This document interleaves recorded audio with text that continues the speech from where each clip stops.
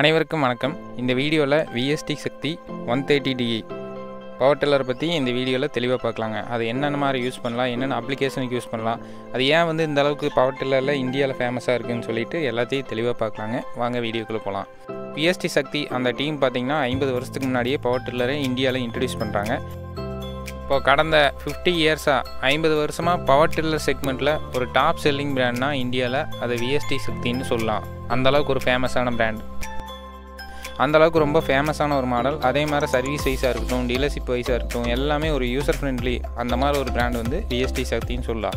அந்தளவுக்கு ரொம்பவுமே ஒரு ஃபேமஸான ஒரு பிராண்டில் பதிமூணு ஹெச்பி பவர் டில்லரோட பர்ஃபார்மன்ஸை இந்த வீடியோவில் பார்க்க போகிறோம் அதே மாதிரி டெக்னிக்கலான ஒரு ரிவ்யூவும் இந்த வீடியோவில் பார்க்குறோம். இந்த வீடியோவில் பார்த்தீங்கன்னா வாழைக்காட்டுக்கு மண் கட்டுறாங்க. அதே மாதிரி அந்த பவர் டில்லரில் என்னென்ன யூஸ் பண்ணலாம்? எப்படி வந்து கத்தி வந்து நம்ம மாற்றி மாற்றி ஃபிட் பண்ணோம்னா என்னென்ன மாதிரி யூஸ்ஃபுல்லாக பயன்படுத்தலாம்னு சொல்லிட்டு அதையும் இந்த வீடியோவில் தெளிவாக பார்க்கலாங்க. இந்த விஎஸ்டி சக்தி பார்த்திங்கன்னா முழுக்க முழுக்க இந்தியாவில் ஒரு மேனுஃபேக்சரிங் ஆகக்கூடிய ஒரு பிராண்டுன்னு சொல்லலாம். அதனால் நம்ம இந்தியாவில் என்ன ஒரு மண் வகை இருக்குதோ அதுக்கு தகுந்த மாதிரி இந்த பவர் டில்லர் வந்து இருக்கும். அதனால தான் பவர் டில்லர் செக்மெண்ட்டில் இப்போவும் ஒரு நம்பர் ஒன் சேல்ஸு ஒரு நம்பர் ஒன் பொசிஷனை பிடிச்சதுக்கான காரணம் பார்த்திங்கன்னா அதுதான் இதுதான் ரீசன் இந்த பவர் டில்லரை பற்றின ஒரு ரிவ்யூ பார்த்தீங்கன்னா வீடியோவோட கடைசியில் வந்து இருக்கும். வீடியோவை கடைசி வரைக்கும் முழுமையாக பாருங்கள் அதே மாதிரி இந்த பவர் டில்லர் வந்து நீங்கள் யாராச்சும் யூஸ் பண்ணிங்கன்னா உங்களோட எக்ஸ்பீரியன்ஸ் வந்து கீழே ஷேர் பண்ணுங்கள் பவர் டில்லர் மூலமாக நான் யூஸ் பண்ணதில் எவ்வளோ ப்ராஃபிட் எடுக்க முடிஞ்சுச்சு? இதன் மூலமாக நான் வந்து எந்தெந்த ஒரு நிலையை வந்து நான் வந்து அடைஞ்ச வாழ்க்கையில் அப்படிங்கிறதை கீழே மறக்காமல் ஷேர் பண்ணுங்கள் இப்போ வந்து வாழைக்காட்டுக்கு மண் கட்டணும். தென்னை மரத்துக்கு வந்து சுற்றி மண் கட்டணும்னா கத்தி வந்து என்ன மாதிரி அரேஞ்ச்மெண்ட்டில் பண்ணால் மண் விழுகும்? அந்த அரேஞ்ச்மெண்ட் வந்து நாம் இப்போ பார்க்கலாம். இப்போ ரோட்டரியில் பார்த்தீங்கன்னா ரெண்டு சைடு இருக்கும். ஃபஸ்ட்டு ட்ரைவ் சைடு இல்லை ரைட் சைடில் கொடுத்துருப்பாங்க. லெஃப்ட் சைடு வந்து நார்மல் சப்போர்ட் சைடாக இருக்கும். அந்த சப்போர்ட் சைடு இருக்கிற டோரும் நீங்கள் ரிமூவ் பண்ணிடணும். அதே மாதிரி ட்ரைவ் சைடு இருக்கிற டோரையும் நீங்கள் ரிமூவ் பண்ணி எடுத்துடணும். டோர்னால் சும்மா கவர் மாதிரி கொடுத்துருப்பாங்க சைடில் அந்த கவரை வந்து நீங்கள் கட் பண்ணி எடுத்துடணும். கட் பண்ணி எடுத்துகிட்டு இப்போ வந்து வாழைக்காட்டுக்கு மண் கட்டுறதுனா லெஃப்ட் சைடு மட்டும் வர மாதிரி இருக்கணும். ஏன்னா ஒன் சைடாக மண் கட்டிட்டு போகிறதுனால லெஃப்ட் சைடு பார்த்த மாதிரி கத்தி ஃபுல்லாக மாட்டிக்கணும். ரோட்டரியில் ஃபுல் லென்த்துக்கும் நீங்கள் வந்து லெஃப்ட் சைடு பார்த்த மாதிரி கத்தி மாட்டிக்கணும். ஸ்டார்டிங் லெஃப்ட் சைடில் பார்த்தீங்கன்னா நீங்கள் வந்து புது கத்தி மாட்டி புது கத்தியில் பார்த்தீங்கன்னா நீங்கள் பீஸ் வச்சுக்கணும். அடியை கத்திக்கு அடியை பார்த்தீங்கன்னா பீஸ் வச்சு ஒரு பட்டா மூணு கால் பட்டா அந்த மாதிரி பட்டா வச்சு வெள்ளடிச்சிட்டிங்கன்னா மண்ணை வந்து அந்த ஒரு ஸ்டார்டிங்கில் ஒரு ஒரு ரோட்டரி ஒரு சுத்துக்கு மட்டும் கத்தி வந்து அந்த மாதிரி செட் பண்ணிவிட்டு உள்ளே போக போக பார்த்தீங்கன்னா நீங்கள் பழைய கத்தி இருந்தாலும் மாட்டிக்கலாம். அந்த மாதிரி செட் பண்ணிவிட்டு நீங்கள் ஓட்டினீங்கன்னா மண் வந்து அழகாக விழுகும். இந்த மாதிரி செட்டிங் வந்து எது எதுக்கெல்லாம் யூஸ் ஆகுன்னு பார்த்தீங்கன்னா வாழைக்காட்டுக்குள்ள மண் கட்டுறதுக்கு அதே மாதிரி வரப்பு அமைக்கிறது பெட்டு அமைக்கிறது வாய்க்கால் அமைக்கிறது அதே மாதிரி தென்னை மரத்தை சுற்றி ரவுண்டு கட்டுறது அந்த மாதிரி ப்ராசஸ்க்கெல்லாம் இது வந்து யூஸ்ஃபுல்லாக இருக்கும். அதே மாதிரி கரும்பு காட்டுக்கு மண் கட்டுற பருத்திக்கு செடிக்கு இடையில வந்து மண் வந்து ரெண்டு சைடு வகுந்து போடணும். அந்த மாதிரி அப்ளிகேஷனுக்கெல்லாம் போகிறப்போ நீங்கள் வந்து ட்ரைவ் சைடு இருக்கிற கவரையும் நீங்கள் ரிமூவ் பண்ணி எடுத்துகிட்டு ரோட்டரியில் பாதிக்கு இந்தளவு ரைட் சைடு பாதிக்கு அந்த சைடு லெஃப்ட் சைடு அந்த மாதிரி கத்தி வந்து நீங்கள் பிரித்து மாட்டிக்கணும்.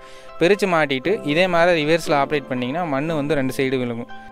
நிறைய பேர் பவர் டில்லை எடுத்துகிட்டு வந்தோடனே எனக்கு வந்து மண் கட்டணும் அப்படின்னு ஒரு சிலர் வந்து எதிர்பார்க்குறாங்க. எனக்கே ஒரு சிலர் வந்து கால் பண்ணி கேட்டிருக்காங்க எப்படி வந்து கத்தி வந்து அரேஞ்ச் பண்ணலாம்? எப்படி வந்து அரேஞ்ச் பண்ணால் வந்து மண் விழுகும் கரெக்டாக அப்படின்னு சொல்லிட்டு நிறைய பேர் வந்து கேட்டிருக்காங்க அவங்களுக்காக வந்து இந்த வீடியோ வந்து செப்பரேட்டாக பண்ணுறாங்க அவங்க வந்து பார்த்து தெரிஞ்சுக்கங்க. கத்தி இந்த மாதிரி மாட்டினா இந்த மாதிரி டோரெல்லாம் நீங்கள் ரிமூவ் பண்ணால் மட்டும்தான் மண் வந்து கரெக்டாக விழுகும். பெட்டு வந்து ஃபார்ம் ஆகும். அதே மாதிரி வரப்பு கட்ட முடியும். பெட்டு வந்து நீங்கள் ஃபார்ம் பண்ண முடியும். வாய்க்கால் அமைக்க முடியும். எந்த ஒரு ப்ராசஸ்க்கும் கரெக்டான அரேஞ்ச்மெண்ட் நீங்கள் பண்ண இந்த மாதிரி அரேஞ்ச்மெண்ட் பண்ணால் மட்டும்தான் நீங்கள் வந்து கரெக்டான ரிசல்ட்டை வந்து எடுக்க முடியும். கரும்பு மற்றும் பருத்தி காட்டுக்குள்ளே வந்து மண் வந்து ரெண்டு சைடு எப்படி கட்டுறாங்க? அதே மாதிரி தோப்புக்குள்ளே தோப்புக்குள்ளே மரத்தை சுற்றி எப்படி மண் கட்டுறாங்கன்னு சொல்லிட்டு அடுத்தடுத்த வீடியோவில் தெளிவாக பார்க்கலாங்க. இந்த வீடியோவில் வாழைக்காட்டுக்கு எப்படி வந்து மண் கட்டுறாங்க என்ன மாதிரி அப்ரோச் வந்து ஃபாலோ பண்ணுறாங்க எந்த அளவுக்கு சேஃப்டி வந்து முக்கியம்னு தெளிவாக பார்க்கலாங்க. ஸ்டார்ட் பண்ணப்பா.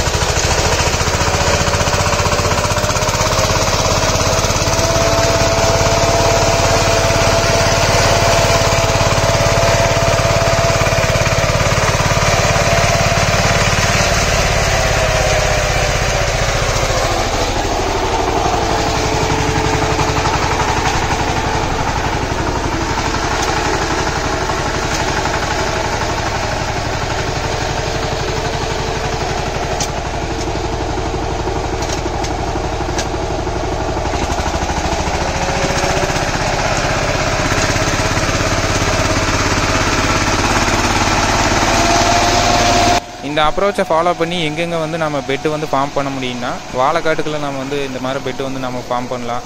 அதே மாதிரி பப்பாளி செடி போட்டிருந்தாங்கன்னா அதுக்குள்ளேயும் நம்ம வந்து பெட்டு வந்து போடலாம். பாக்கு தோப்புக்குள்ள வந்து இந்த மாதிரி பெட்டு வந்து நம்ம மர மர வேரோட்டம் இருக்கணும். மரத்துக்கு வந்து ஒரு நல்ல சப்போர்ட் வந்து மண் மூலமாக கிடைக்கணும்னா அந்த மாதிரி பெட்டு ஃபார்ம் பண்ணலாம். அதுக்கெல்லாம் பார்த்திங்கன்னா இந்த மாதிரி அப்ரோச்சை நம்ம யூஸ் பண்ணலாம். இப்போ லோ ரிவர்ஸ் கியரில் பார்த்தீங்கன்னா பிடிஓவில் ஃபஸ்ட்டு ஸ்பீடில் வந்து ஆப்ரேட் பண்ணுறாங்க முழுக்க முழுக்க பார்த்தீங்கன்னா ஒரு ரேட்டட் ஆர்பிஎம்மில் தான் பார்த்தீங்கன்னா ஆப்ரேட் பண்ணுறாங்க ஃபுல் அண்ட் ஃபுல் ரிவர்சல் தான் நம்ம ஆப்ரேட் பண்ணோம் இந்த ஆப்ரேட் பண்ணுறப்ப நம்ம முக்கியமாக கவனிக்க வேண்டியது என்னென்னு பார்த்தீங்கன்னா இப்போ பின்னாடி ரிவர்ஸில் தான் ஆப்ரேட் பண்ணிட்டு போயிட்டுருப்பாங்க. ரிவர்ஸில் ஆப்ரேட் பண்ணிட்டு போயிட்டு இருக்கிறப்ப நம்ம முக்கியமாக கவனிக்க வேண்டியது என்னென்னு பார்த்தீங்கன்னா பின்னாடி ஏதாச்சும் குழி இருக்குதா? இல்லை ஏதாச்சும் வேறு ஏதாச்சும் கல் ஏதாச்சும் கிடக்குதா? அப்படின்னு சொல்லிட்டு பார்த்துட்டே வரணும். அப்படி இல்லைன்னா ஆப்ரேட்டர் திடீர்னு ஸ்லிப் ஆகிட்டாங்கன்னா கால் வந்து டேமேஜ் ஆகிறக்கான வாய்ப்பு இருக்குது அதனால் இந்த பவர் டில்லரை வந்து இந்த மாதிரி ரிவர்ஸில் ஆப்ரேட் பண்ணுறப்போ நம்ம கவனமாக யூஸ் பண்ணணும். பவர் டில்லரை இந்த இந்த மாதிரி அப்ளிகேஷனை பொறுத்த வரைக்கும். இப்போ இந்த மாதிரி பவர் டில்லர் பார்த்தீங்கன்னா எத்தனை அடி கிராப் டிஸ்டன்ஸ்னு சொல்லுவாங்க. அந்த செடிக்கு செடிக்கு இருக்கக்கூடிய டிஸ்டன்ஸ் எவ்வளோ இருக்கணும்னா இந்த மாதிரி மண் கட்டணும்னா குறைஞ்சபட்சம் ஆறு அடியிலேருந்து ஏழரை அடி எட்டு அடி வரைக்கும் வந்து மண் கட்ட முடியும். இந்த மாதிரி காட்டுக்குள்ளே பார்த்தீங்கன்னா பெட்டு வந்து நம்ம மரத்துக்கு கட்ட முடியும். ஒரு சில ஏரியாவில் பார்த்தீங்கன்னா இந்த மாதிரி பெட்டு ஃபார்ம் பண்ணுறக்கே சீட் வந்து ஃபார்ம் பண்ணி சீட்டு சீட் மாதிரி அரேஞ்ச்மெண்ட் எல்லாம் செட் பண்ணி ஒரு சிலர் சீட்டில் உட்காந்து உட்காந்துட்டே ஆப்ரேட் பண்ணுவாங்க.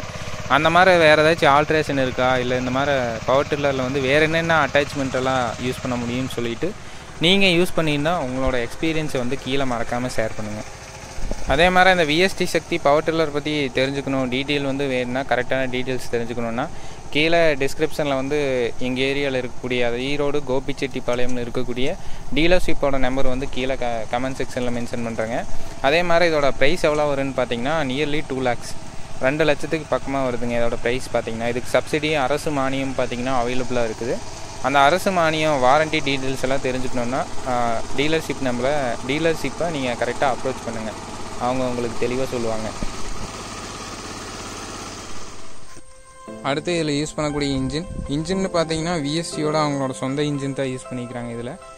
அதே மாதிரி பதிமூணு ஹெச்பி கொடுத்துட்டாங்க. பதிமூணு ஹெச்பி பதிமூணு புள்ளி அஞ்சு ஹெச்பி ரெண்டு ஹெச்பி வேரியண்ட் வந்து இருக்குது இதுலேயே லேட்டஸ்ட் பார்த்தீங்கன்னா ஏரோடைனமிக் டிசைனில் இருக்கும். இதோட லுக்கு பார்த்தீங்கன்னா இப்போ இது வந்து பார்த்தீங்கன்னா ஓல்டு வெர்ஷன் இதில் உங்களுக்கு இன்ஜின்லேயே பார்த்தீங்கன்னா வாட்டர் கூலிங் டெக்னாலஜி வந்து கொடுத்துட்றாங்க ஒரு பதிமூணு ஹெச்பி இன்ஜினுக்கே சிங்கிள் சிலிண்டர் இன்ஜினுக்கே பார்த்தீங்கன்னா இதில் வந்து ரேடியேட்டர் கொடுத்து வாட்டர் கூலிங் வந்து கொடுத்துருக்குறாங்க டீசல் டேங்க் அதுக்கு பக்கத்தில் இருக்கும். இதோட கெப்பாசிட்டி பதினோரு லிட்டர் வந்து கொடுத்துருக்காங்க.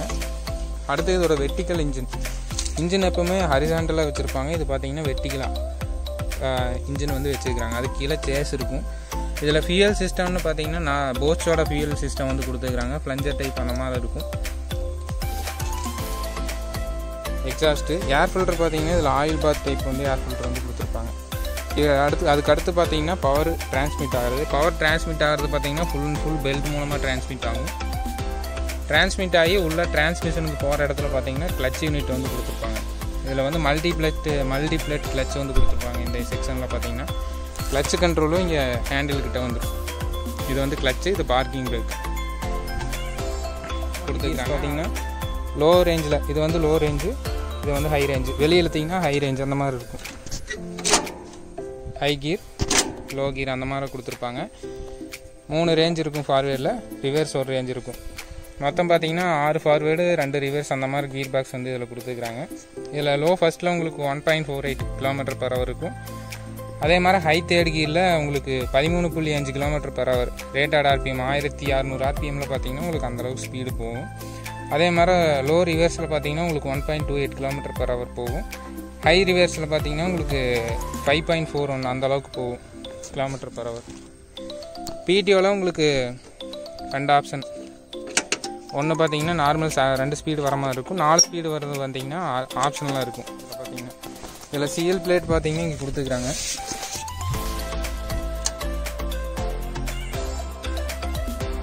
மாடல் இருக்கும்.